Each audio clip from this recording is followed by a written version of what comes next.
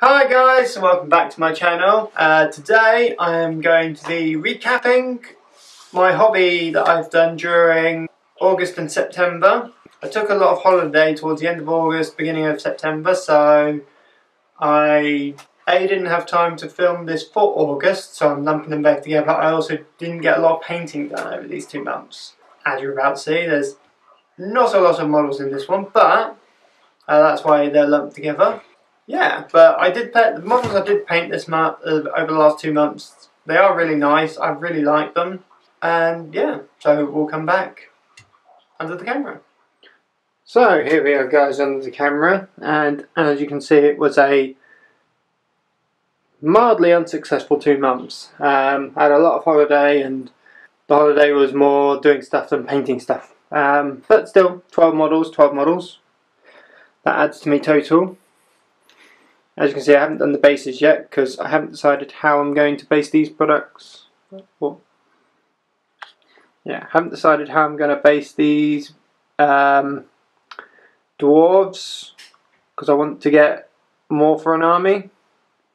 I want to get four frame, a box of Grimhammers, maybe another box of Warriors of Erebor. But these guys do look beautiful. They look really good.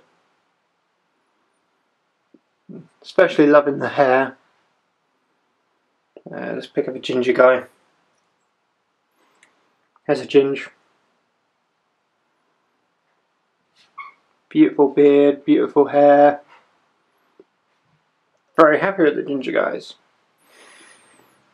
So that's my total for this month. We'll have a look at where I'm at so that's my total for this month. Um, I'll have a look at where I'm at and come back in the post with my total so far and what I've got left to do. So there we have it guys. Uh, that's the 14 models I've painted so far uh, for those for those two months. They're really nice models to paint. Um, I'm looking forward to getting some Grimhammers eventually and Thor and Frame so I can round out a nice 500 point army of Erebor. Um, and then I'll probably expand that with Girion and a few, well, a warband or two of Dale.